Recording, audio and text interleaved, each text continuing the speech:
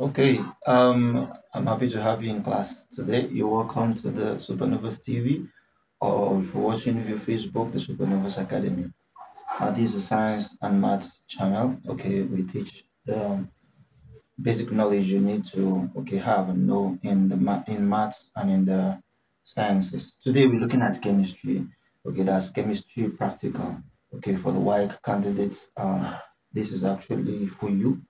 Okay, um, we are looking at uh, part one of the chemistry practical.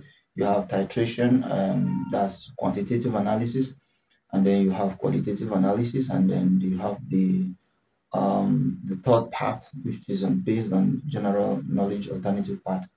Okay, so um, if this is your first time of coming across a video, kindly give us a follow or subscribe to the channel. We have lots of um, knowledge here. Okay, um, so let's go straight to what we have here. Please like this video. It's very important. Thank you. Okay, um, now we are looking at chemistry practical. The volume of pipette we have is already usually 25 cm cube. Okay, then we have indicator methyl orange. We're using indicator methyl orange because we are dealing with um, a strong acid and a weak base. So we can put up uh, the equation here. Okay,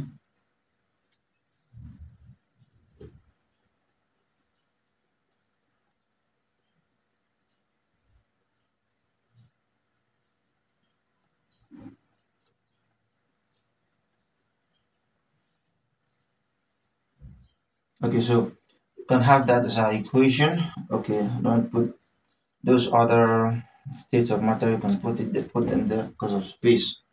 Okay, and then now take note from this equation before we go to this table that the reacting moles, okay, one ratio one.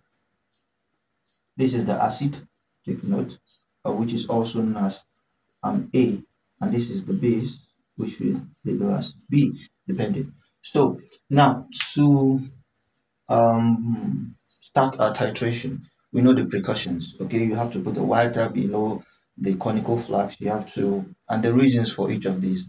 Some of these can form the number three questions. Okay, you have to, the burette has to be erected, you know, straight vertically erect. Okay, and then to have our values, it's very important to start, okay, most likely to start from 0.00. Take note that in this table, you have 10 marks awarded for this table. This table has 10 marks. Now you can get all the 10 marks and you can lose all the 10 marks. Depends on how you reported the practical before you go over to the calculations um, part. Now, if you're reporting this, you can see Burette reading CM cube this must be in cm cube. If you have rough titer, you must have your cm cube here. You must have this here. You must have this here. You must have this here. Okay, that tells us the unit in which you're, you know, reporting this. Okay, then you have final reading. Like I said, we can always start from 0 0.00. That's from the initial. Okay, so 0 0.00. Okay, if you have 0 0.0, it's not correct, please. So you have to 0 0.00, decimal places. All the values on this table must be recorded to two decimal places. I'll put that down. So two decimal places. All the values on this table. All right. So now the the titer value will be using because from various experiments, take note that no two schools or kind of yeah group of students in different schools um, it's not actually a must that you should have um, the same values. Okay, we don't expect, one does not expect that everybody in a state or in a region has the same titer value. No, but the titer value your teacher uses or the most common titer value generally among the students. If the teacher does not submit a titer value, then the titer value that occur most, okay, among students, that's what they will use to mark. Okay, so we can have schools that have 23.00 cm cube as a titer value, that's volume of acid required to neutralize 25 cm of base. You can have schools that have 21.00, you can have schools that have 22.00, okay, but within that range, okay. Now, let's say we want to use, um, let's use 22.00 cm cube. Now, if we want to use this, we want to get our average to this, okay. This is the average we want to use, for instance. okay we are not okay saying you must use this value. But if you perform experiment you can have 22.00 you can have 21.00 you can also have 23.00 now it depends on the titer value that you're using okay as a teacher or as a school. So if we want to use 22.00 all right now we have our 0.00 as our initial okay? Now this is a rough titer we can have for the rough titer we have 22 points let's say um 30 take note they're not to mark this this is just rough okay? This is rough. Now um final volume of acid use you have 22.30 okay now you go over to the first second and third titer that is the one that will concentrate on to mark. Now take note they may actually mark these two okay if it lies within plus or minus 0.20 cmq now you have two titer values that they will concentrate on to mark like the WAEC the um, markers or examiners okay? The values they want to see that are concordant. You can choose to make all your values concordant. Perfect. Okay but at least two to three of your values must be concordant to earn you eight marks from this table. If no there's no value that's concordant here you have no mark. This we have 0 over 8 all right now let's go on. So want to use arrive at 22.00 now these are all of which we we don't want to consider among the concordant values. That's why i put it at 20.030 now let's say we started from 0.00 here. Okay then the next one remember this remember. So we have 22.10 okay and then final we have 22.10 okay second titer value 0.00 again. And then we have 22 or 21.90 I hope you've seen this and then we have 21.90 here. And then third titer value we have from 0.00 and then we have 22.00 and then 22.00 here. So you can now see that these three values are concordant. We can choose to make them the same. Okay, no issue. We can we may choose to make 22.00, 22.00, 20.00, everything. Okay, but this is also correct. Take note. This is because the range, okay, is not more than plus plus or minus 0.20 cm from this to this they are within the. So you can get a mark for this, you can get a mark for this, you can get a mark for this and this, you can get a mark for this and this. Okay, you can see this, you can get a mark, get a mark. This is four marks, and this is four marks. So that's eight marks. Okay, but you can choose to make everything like uh, from this part of the same value, everything. They'll just choose two, two concordant values and then give you your mark. Now, for this table, uh, also, you must not okay use pencil to make this table okay some students um they don't want to make mistakes so they just use pencil and then draw the table and then use a pen to trace it. That's and then erase it. That's very wrong. You must use a pen and it must be clearly stated your table. You must not cancel any of these digits. Please you must not mutilate or cancel anything here. You must not. If you do that you you are losing marks gradually. Okay and then you must not cancel an entire table after drawing it if you finish drawing and you feel you made a mistake it's better you don't start drawing and then cancel everything because you cancel everything you are still losing marks cancel everything and then draw another one you're losing marks for that okay i hope you're following what we're trying to explain so and then um like i said you don't cancel you don't cancel out the entire table. You don't cancel any figure here, any digits here. You don't do that. Everything must be to two decimal places as, as you have seen okay, on the board. And then to calculate the vol average volume of acid used, I'll have, I'll have to rub this off. Okay. So when I calculate average volume of acid used.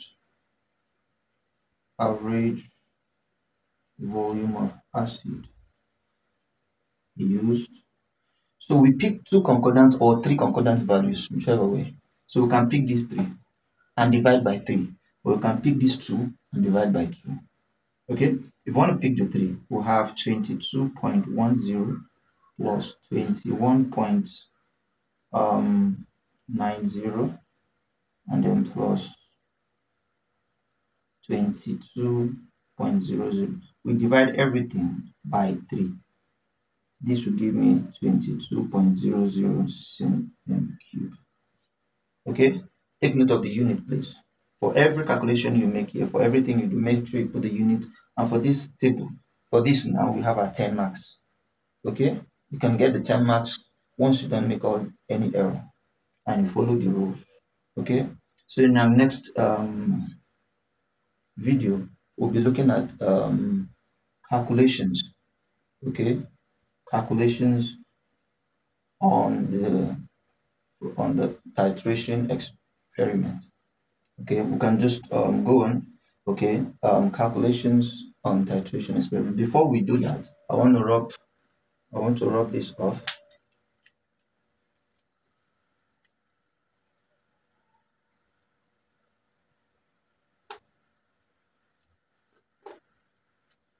Remember average volume of acid used, you have 22 centimeter cube.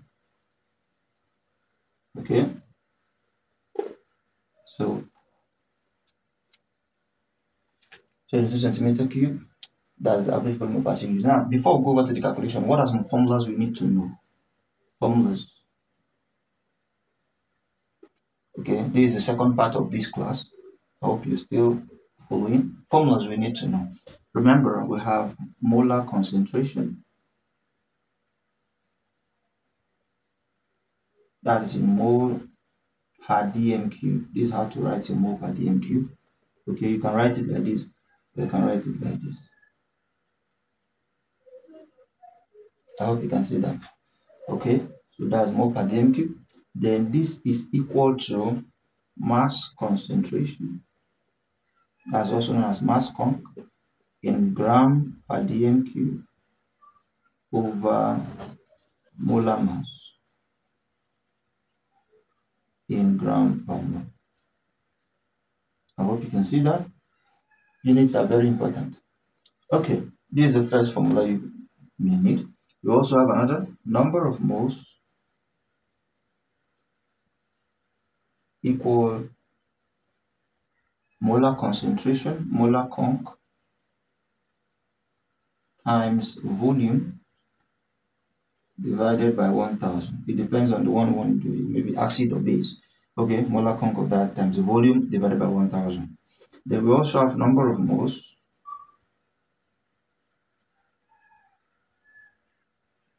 equal mass divided by molar mass. Alright. Then we have also the basic formula we're using. We can use calculate molar concentration. We can also use this. Depends on what we have. So we also have um, in relation to acid and base, we have a CaVa over CbVb equal Na over Nb. I'll be following this. Okay. So we have this formula. Take note. Ca is molar conc of acid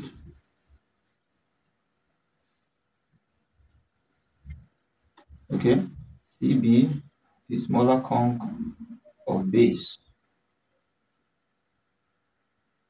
Okay. Nb na is number of moles. From the equation we get that number of moles of acid.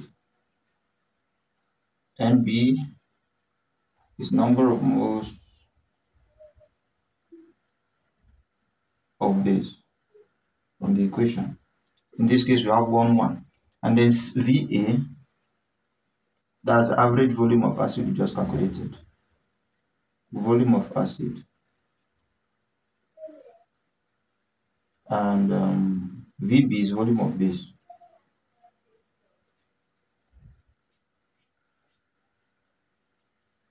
VB is volume of base. Okay, so we would like to use these formulas in our calculations. Please take note of these formulas as they have been written on the board. Okay, we'll go to the third stage. In this